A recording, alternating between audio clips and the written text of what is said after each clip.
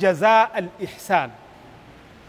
ها أنا الكلمة دي ساري باها زمان كلها بدور كل نقطة الإحسان دي عشان بتكلم فوقها. ربنا سبحانه وتعالى أكرمنا بإنسان شبه شيخنا اللي اسمه إبراهيم صالح الحسيني ده. الإنسان ده الله أكرم لنا أكرمنا بيا. كان سألنا نفسنا أنينا ولا أمهاتنا ولا أبهاتنا شنو كي هنشر بيوم مثقال ذرة جانا من إبراهيم صالح الحسيني ده. فيوا؟ شنو كي سوى مكنوس؟ هنجازي بالحسنى كيف؟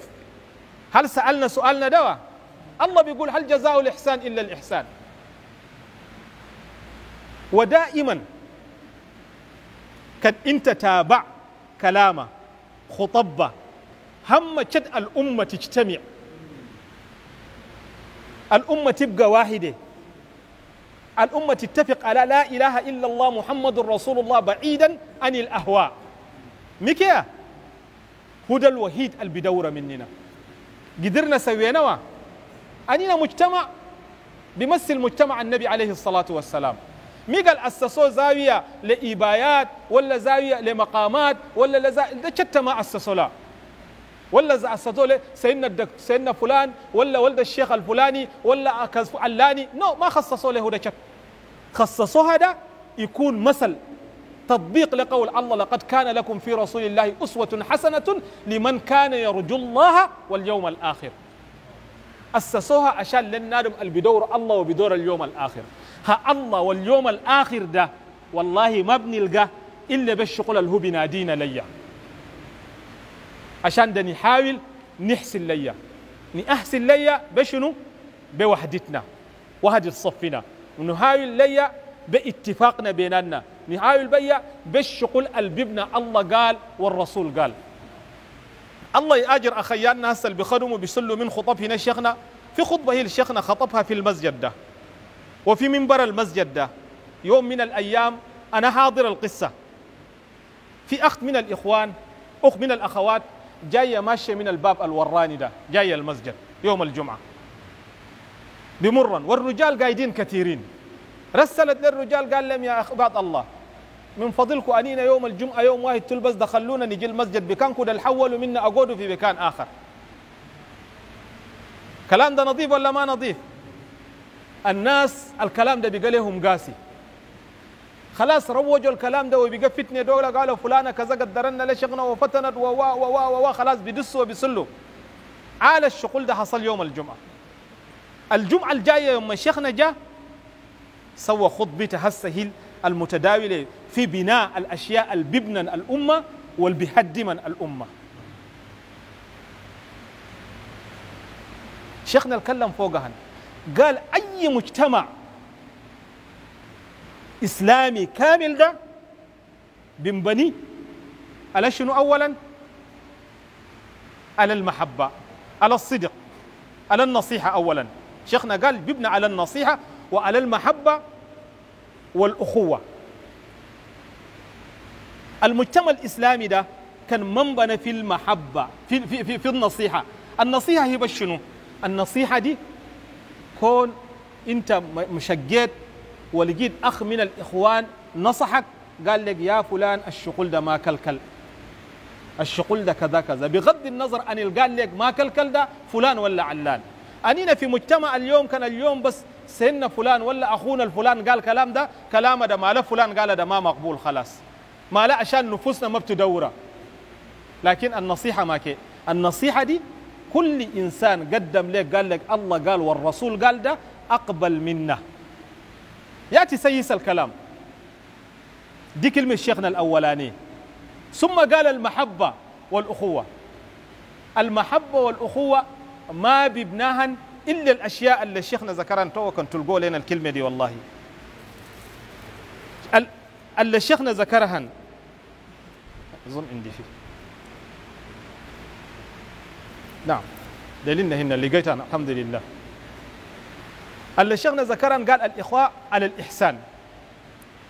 قال أما الببنى الإخاء ده شنو؟ إلا إذا كان ما في حسد وما في بغضاء. الأخوة ما تنبني أبدا إلا كان الحسد بقى ما في البغضاء وما في. الحسد هو شنو؟ الحسد مثلا ربنا سبحانه وتعالى أكرمه ده أنطاء شغل. أكرم ده أنطى شغل. أكرم ده أعطى شغل. أكرم ده أعطى شغل. أكرم ده أعطى شغل. أنت تشيب آه فلان ده ما مستحق بيلقى الشغل اللي قدا ولا لازم تو الشغل اللي قدا واجب أنا هادي ألقى. ده بس الحسد ولا كنت دور النادم ده انتفي يبقى من الدنيا ما في من أمس من الأمراض المكنوسة النبي بيقول حسنات الإنسان بن اكلا شبكا دسيت القش في النار النار تاكل كده كذلك الحسد بياكل الحسنات. الشيخنا بيقول المجتمع الصحي كده ما بينبني إلا كان الحسد مش من بقى منا ما في. اذا سعادة أي إنسان ولا مقام أي إنسان ولا تفضيل أي إنسان الله اطلع أي واحد ده أنت أسأل لي الله تبارك وتعالى يسائده ويوفق وأنت كل كان الله يعطيك هناك.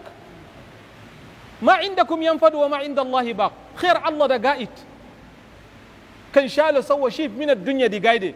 بينطو قارون بينطو ده بينطو الناس المال. قالوا مال هنا الله تم كان اليوم اجتهدت. انت كان اجتهد كيف كلا؟ ما بيقدروا بقول لك بقيت قارون ولا بقيت دنجوتي أما انت كلا الله بيجيبك بصفتك انت الخاصة. ميكيا هسه مثال زماننا اليوم ده نادم بقول دولي أنا ببقى الإمام مالك ولا ببقى الشيخ إبراهيم صالح ولا ببقى فلان. بيقول لي لكن الله بيقدر بيجعلك انت شبههم ولا كان بيقدر بيجعلك فايتينهم كل ده إن الله بدور اللي بيسويه. اذا واجب كان ندور نبنى مجتمع ونجازي الشيخ بالإحسان ده. شغل ثم حسد ده نخليه نص. ثم البغداء. البغداء دي تشيب نادم كبس تقول ده ما بدوره. خلاص انت من ابيته ده؟ تبار تتابع الناس أول واحد أول وآخر تلاقي الناس فلان كذا فلان كذا فلان كذا فلان كذا فلان كذا تحاول تتلف ثم. تدس بقات في قلوب الناس. ودي ما سمة خاص ما سمة هي المؤمن. ما له قلنا ما كويسة ده؟ عشان الكلام اللي انت تقوله ده ربنا سبحانه وتعالى قبل ما بتقول جهز ملائكة. كراما كاتبين يعلمون ما تفعلون. الشغل تقوله في الناس ده ولا تقوله في فلان ده؟ اوريدي الملائكة كتبوا. هناك انت ده كان الناس صدقوك ان الله شك يوم القيامة وقت تقول للملائكة ما بخلوا صفوفهم عشان هناك انت ده. عشان ده البغدادي تشتت. ما أدري ما بتبنى مجتمع. وتانية في البغدادي بقول لكم شغل واحد. والله والله ببدأ من نفسي أنا أبا صالح بكلم لكم ده وغيري كان أي نادم بقري مهاجري تال مستوى المعلمين اللي بدرسوا كان كل نادم جمع ناس. وما عند شغل إلا بأير فلان ولا بنقص فلان ده ولا كان بله إلا فلان. والله ما عالم. كان عالم كله كان ما خدم بعلم ده. عشان العلم ده ما دأب العلماء. العلماء من طبيعتهم كان شيب نادم تلب ده تمش تلقى في بيته تقول لي فلان تال. تنصحه. أما عالم فك كتابك تقول الله قال الآية تفسرها في مسلم. أه؟ عندنا في المجتمع مجتمعنا الصغير في ناس صموا ناس شبههم بسام ابن نوح كله. سام ابن نوح كفر بالله تبارك وتعالى. ها؟ أه؟